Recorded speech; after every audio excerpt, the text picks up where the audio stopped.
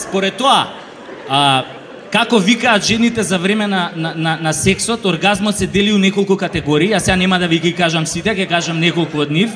Еве, на пример, имате прво самоубиствен оргазам. Тоа е она, а, ти ја сексаш, а она ти вика Удри ме. Удри ме по газот. Удри ме, немој да ме штедиш.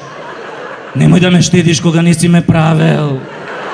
Ајде сега искуби ме како кокошка. Искуби ме како кокошка и надени ме на раженот. Така.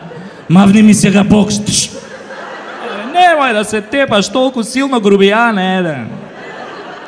Имате после овој наркомански оргазам. Тоа е она.